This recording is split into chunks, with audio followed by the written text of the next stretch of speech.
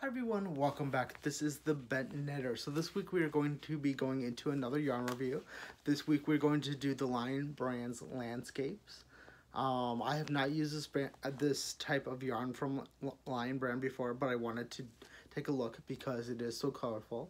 The name for this kind of color scheme they got going is Tropics. They have a couple different uh, color schemes for this type of yarn that they have, which is also very, uh, very nice. It is a very darker tone, a very richer tone, kind of much more intense, which is nice. So, and it's darker tones, um, which is awesome. Now, I will put all the information in the description below in case anyone is interested, wants to know more about it, or just wants to know some more details. Um, but it is 100% 100% acrylic um, and 147 yards or 134 meters. So you don't get tons of yarn per skein compared to a lot of other brands or type that you may be able to get from Lion Brand. But even though it is acrylic, it is very soft and very silky, which is nice. Um, I don't, you don't always get that smooth, silky uh, feeling with it with acrylic. So I'm happy that it was so nice and so soft.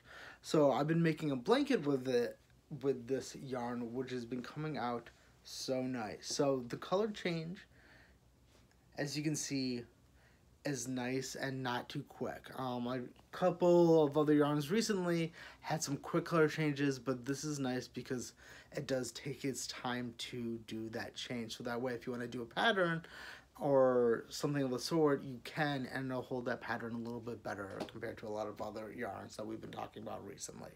So it's very nice yarn, very soft, very smooth. My only complaint is that it is a little um, kind of hairy.